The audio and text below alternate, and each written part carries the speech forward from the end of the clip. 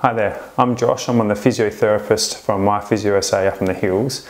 And today I'm going to talk to you about how to measure yourself up for one of the Exos braces um, that we um, can fit um, um, for a various number of conditions. So if you're looking at this video, then you've probably been directed there by either one of the physios or GP or one of the reception staff. Um, this is how you can sort of get a measurement to help us get the right size. Uh, so when you come into the appointment, we can fit you with the brace that's going to, going to help you um, move along.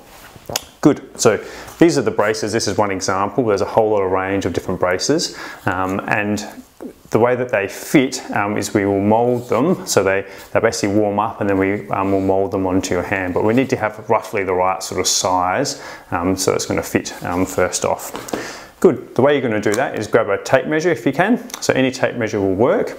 Um, and you need to measure around the circumference around from your thumb, so just above your thumb and around your hand. So you need to get the whole way around, so you're going to start off probably gripping around with your thumb works well, coming around.